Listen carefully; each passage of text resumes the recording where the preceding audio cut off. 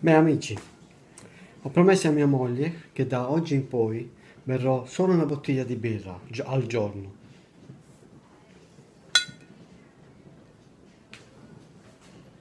Beh, non è mica male. Ciao.